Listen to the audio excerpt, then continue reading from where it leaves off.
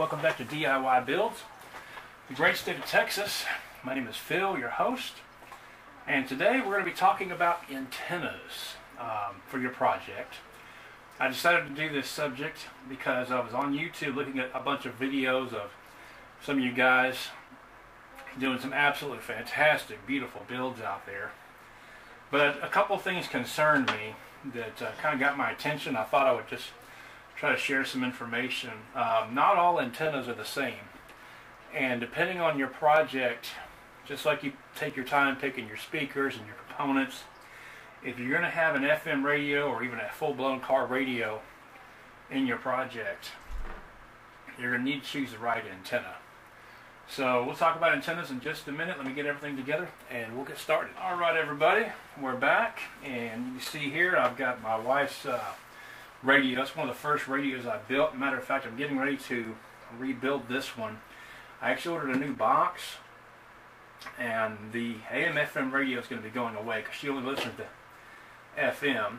So we're going to move the voltage meter and everything up to the top. This is going away. And the 4 inch speakers that are on the sides are going to be moved to the front. But anyway, I got this out because I wanted to show you, and on the back here, we do have an antenna because it's AM FM radio.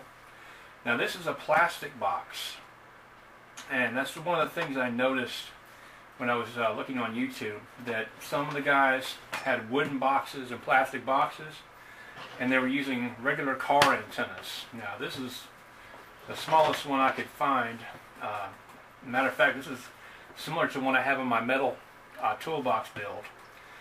But this is a car antenna. So let me kind of give you a little antenna 101. Let me move this out of the way temporarily. A lot of people don't realize that an antenna is just like any circuit that you have in a 12 volt system. You have a hot or a positive and a negative side. And on these antennas here, um, the outside of the casing here where it plugs in is the negative, and the tip there is the positive. Now, the, what, most people think that, okay, on a car, that's the antenna. No, this is only half the antenna. The other half on a, a car antenna is actually the car. The car is what's called the ground plane. This is called the aerial, and this would be, think of this as the positive side of your antenna, and the ground plane, or the grounding, where the metal here attaches to the car here, you see this metal base here, that's actually the negative side. That's why you it, works because your car's chassis is grounded through the battery. So that completes the circuit. You have the positive and the negative. And so you can see the problem is if you mount this antenna onto a wooden box or a plastic box like this one right here, if you were to do that, the problem is the base is touching plastic, so you just lost half your antenna. You don't have the ground plane on the antenna. So if you hook this into a wooden box or a metal box, I mean, I mean, sorry, wooden box or a plastic box, it would work okay, but you really wouldn't pull in a lot of distance stations. The stations wouldn't come in very good because, again, you've only got half the antenna. Now, these are perfect for you guys that are building the uh, ammunition boxes that are metal, or the metal toolboxes, and these are very flexible. And another thing I saw a guy do, guy had this beautiful, beautiful setup, and he just took a piece of wire. Let's see if I have some. He just he just took a piece of wire and stuck it in there as the antenna. Come on, guys. I mean, if you're going to spend three, four, five hundred dollars on your build, you know, don't spend 50 cents on your antenna. Your antenna is just as important as the rest of your build. Just as important as your speakers, your amp, all of your components. So if you're going to put a radio there, don't don't cheap out in your antenna. I mean, that's like putting a hubcap on a tractor. So, like I said, this is a car antenna. Works great for a car, works great for the metal boxes, but if you're going to use plastic or wood, what you need to do is upgrade to a marine antenna. Now, these are made for boats and uh, marine applications, RVs, and because um, your RVs and your boats are usually made of fiberglass, so they're not made to attach to metal. So if you see this little piece right here, way it's a little thicker, right here at the bottom, that's called the ground plane. this is what takes the place of the car. The antenna actually stops right here.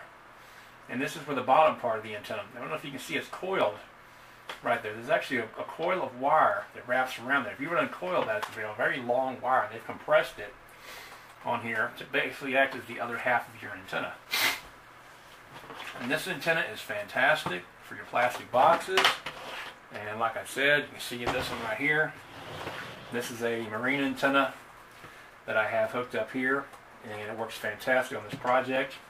Uh, picks up all the all the radio stations, even with you know low-end Boss radio. It works perfectly fine and attaches to your project, and you can adjust this any any way you want by adjusting the screw. Uh, you can actually put it on top.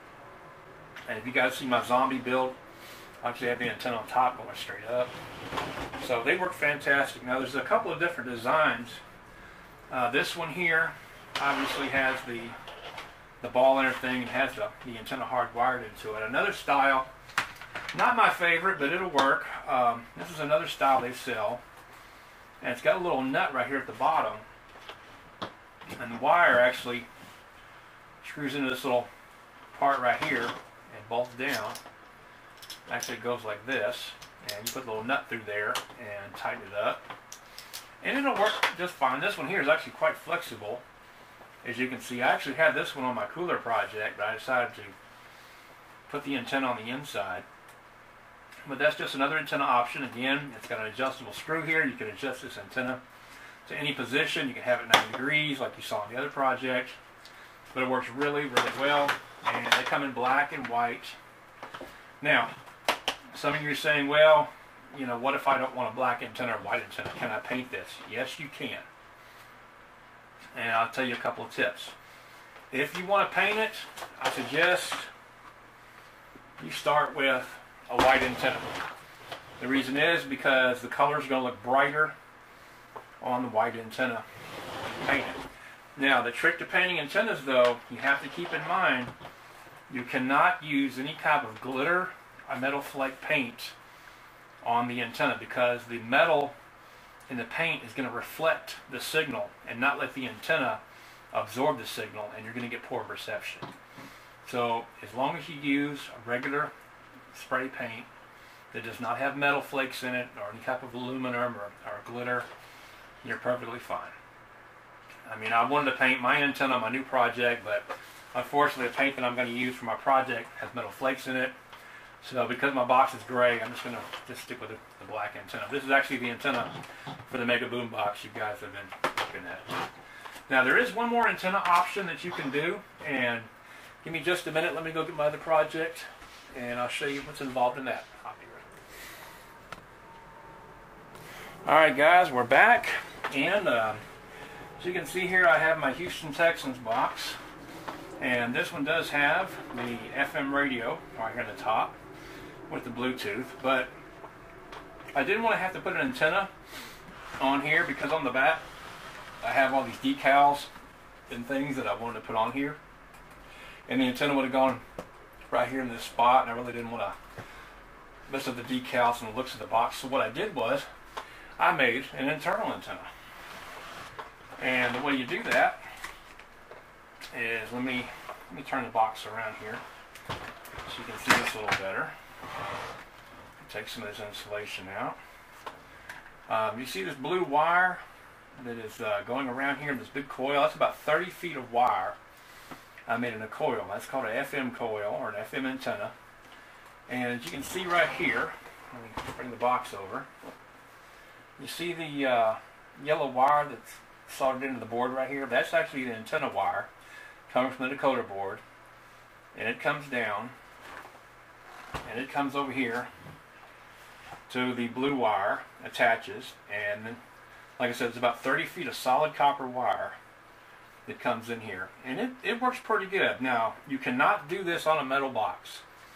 Metal box will shield the antenna from the reception and it will not work very good if you have a plastic box or you're doing a cooler which I did this in one of my coolers it'll work pretty decent now you're not going to get the best reception inside of a building doing this, but if you're outside, this should work perfectly fine for tuning in you know, decent radio stations. So that's another option you have for an antenna. Now later on, I'm going to go into the details of how to hook up an antenna to these little FM decoders. If you want to go from this to this, right here, a regular antenna. There is a little bit of a trick to it, and there's a little adapter that you can buy. And when my adapters come in, I'm going to make a video about it and show you guys how to do it. But what I mainly wanted to do was give y'all some education on antennas because I know antennas can be a little bit of a mystery. And again, I saw several people put car antennas on wooden boxes and I, I really cringed when I saw the guy had the wire stuck in the back of the radio. I mean, the guy had this beautiful, beautiful setup. He's got a wire sticking out of the radio. I mean, come on, y'all. These antennas, these antennas are ten dollars at Amazon. So don't spend three, two, three hundred dollars on your project and spend fifty cents on your antenna. You know, the, the antenna is just as important if you're going to have FM radio. Are you guys doing straight Bluetooth? This is not this video. It's just for educational purposes only. But you guys are serious about putting big radios in your projects, that would be great. This this is the way to go. Let me uh, let me pause this one more time, and I'll get my uh, zombie radio out here. Pull the camera back a little bit to be able to see a little bit better what I'm talking about. Okay, we're back, and of course, you guys, if you've seen my channel, have uh, seen my zombie radio, uh, and of course, I do have a AM FM radio right here with Bluetooth. And of course I have the antenna. Now this this one was black and I actually painted it a green slime color and I kind of scuffed up the paint a little bit on purpose because I want this to look kind of rough. That's why you, you see all the, the dust and everything on this. I want this box to look like it's old and a beat up zombie box but you can paint these antennas. Uh, one thing I'll tell you about painting them, especially this part right here, I'm not sure what this material is made of right here, but for some reason, when you go to paint it, you need to take two steps. Number one is you need to take you a Scotch-Brite pad and you need to scuff up the surface so the paint will stick. And these things are very cheap. You can get them at Walmart, hardware store, wherever. But if you're going to do any kind of painting, of course, you guys know I got several videos on painting, so you see me using Scotch-Brite pads. Now, a little something I want to tell you guys. I don't know why. I don't know what this material is made of. But when you paint these antennas, it takes about 72 hours for the paint to dry. Almost three days. I don't know why. I mean, it'll be, still be sticky. And it, it takes almost seven days for these to be completely dry when you paint them to be able to touch it like this without getting paint stuck all over your fingers. Uh, the base part right here is metal, and that's okay. But for some reason, this I don't know what this material is, but it's very, very, it does not like paint. So you gotta let the paint dry for at least three or four days before you can handle it. But other than that, I hope I've answered some questions about antennas. Uh, again, like I said, i am just trying to educate you guys out there because I just really uncomfortable when I saw people using car antennas on their wooden and plastic boxes like this. So if you're like me, build a lot of plastic boxes, go ahead and just get the Marine RV antennas. They're not very expensive. Like I said, it's $10 at Amazon. And they work really, really good. And uh, leave me a comment below. What do you guys think about this zombie box here? Uh, like I said, you see the video, the eyes light, the beat of the music. I actually got some overspray paint on here. I've scuffed up the box a little bit to kind of give it that rough look and uh, look really cool. And uh, I really, really like it a lot. Looks really good. Anyway, thanks guys for watching. And uh, let me see if I can this thing kick on real quick. My uh, fuse came loose there, but there we go. Come on now. Yeah, we got loose connection. That's okay. Anyway, thanks for watching, guys. And uh, my name is Phil, DIY Boomboxes in Texas. I hope I answered all your questions. Please subscribe to my channel if you haven't already. I try to put out a new video every week, and I got a lot of great projects coming up right now. I'm doing a Buffalo Bills box for a guy in the New York area. Uh, I've got a Air Force box that I'll be working on. Uh, you saw the other box that I'm going to be redoing. And we've got the Mega Boom box that we're working on right now. Um, we're going to be ordering the speakers uh, very soon. And I'm hoping to start on that around February. I'm going to be giving you guys a step-by-step follow-up on the Mega Boom box. And uh, please find me on Facebook. I have a great Facebook group, uh, Builders. Or if you just want to see what everybody's talking about, see some great projects that are posted, or if you have a question about antennas or anything to do with uh, building a boom box, um, please uh, look us up. It's I Love All Things Radio. It should be right here on the screen.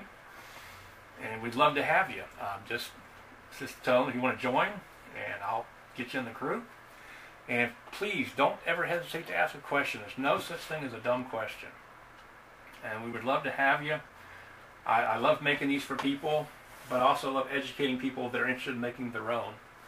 I love helping people to uh, build them. I mean, I'm no expert by any means, but we have some, a lot of great experts on there. And um, one of the guys I recommend is 123 Toyd, T-O-I-D. Uh, check out his channel. He's got a lot of great how-to things. He does a lot of work with wood. So if you guys want to do some woodworking and um, design your own boxes instead of going plastic like I do, he's got a fantastic channel showing you how to do that, how to, you know, use, use the best skills that you have to make some great wooden speakers, wooden projects. And if you like plastic ones like this or metal, I'll do my best to help you out as well. So thanks for watching. Have a great, great week. And uh, we'll see you next weekend with a new video. Talk to you then.